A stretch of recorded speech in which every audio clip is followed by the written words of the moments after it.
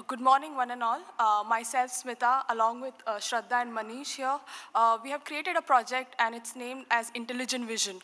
Uh, let me tell you how we came up with this idea. Like a year back, I happened to lose my cousin. Actually, he went missing. And at that emotional situation, we had to go through the CCTV footage and it was all tiring and draining. So we thought like, we have an image, we have a video, why not make machine do the task? So we came up with intelligent vision. Uh, so here we gave uh, we give a video as an input, uh, image and an input, and we get an output showing the best matches along with the timestamp. So let me guide you through how it works. So I'm taking a video here. So this is our first input, and then I'm giving the image to be matched and then I click on generate match. It will take some time because of my laptop hardware configuration. So meanwhile, let me tell you how we went through this. So the initial part was face detection, so for which we made use of cascaded convolution network. So now we have got the faces. Uh, the second part was extracting features.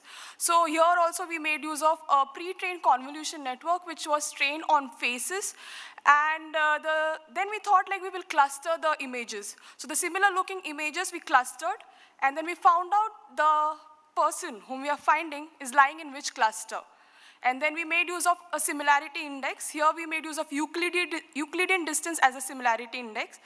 And then we found the minimum distance is the match to be found. So as a future scope, we have also like thinking of including an input which uh, takes like the color what the person is wearing.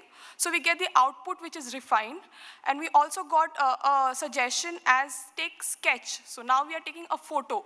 So we can also use like a sketch. So these are future scope what we are considering.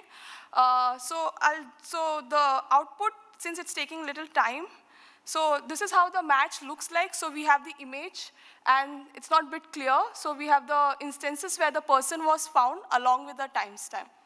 Thank you.